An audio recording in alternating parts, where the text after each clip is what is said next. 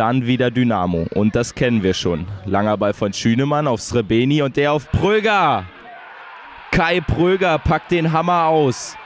76. Minute 2-0. Was für ein trockener Schuss. Vierter Treffer für Pröger im Pokal.